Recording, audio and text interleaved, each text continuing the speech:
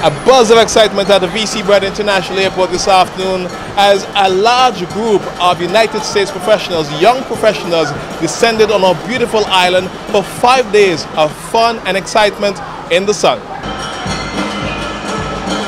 Uh, first time in Antigua, um, beautiful country. Took good pit, some pictures on the way here. Uh, the, the water, nice blue, everything. So a beautiful country. The group is large, numbering just under 500. A few years ago, it was just 50. A graduation getaway for Liberta native Dr. Colin Williams and his friends.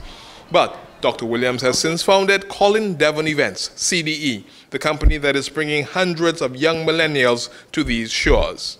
Black travel market for millennials, so people between 25 and 35, is a $5 billion industry. So we're traveling everywhere all over the world. And I said to myself, why can't Antigua be a big part of that? So I'm doing what I can to, uh, to make my friends aware of Antigua and then help them fall in love by showing them the best time possible while we're here. Tourism officials are excited.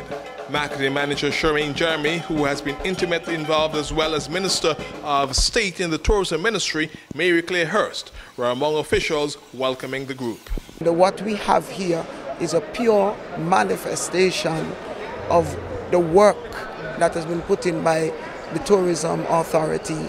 So our role as the ABTA right now is to continue building on this partnership and seeing how we can replicate this not just for one-off events in once a year but several times throughout the year. The next five days for these young travelers will hopefully bring them an unforgettable experience loaded with many memories, images of which tourism officials are hoping they would be quite eager to share.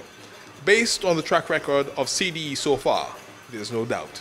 And again, just getting to know other young black professionals from all around. So yeah, we're here to have a good time. Andy Liburd, reporting for ABS News.